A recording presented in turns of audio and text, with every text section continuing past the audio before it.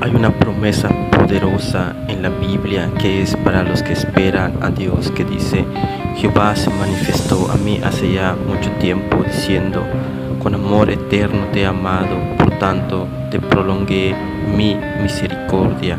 Jeremías 31:3 No sé por lo que hayas pasado en el transcurso de tu vida, ni las pruebas y las luchas que hayas afrontado, o tal vez en las adicciones que hayas caído.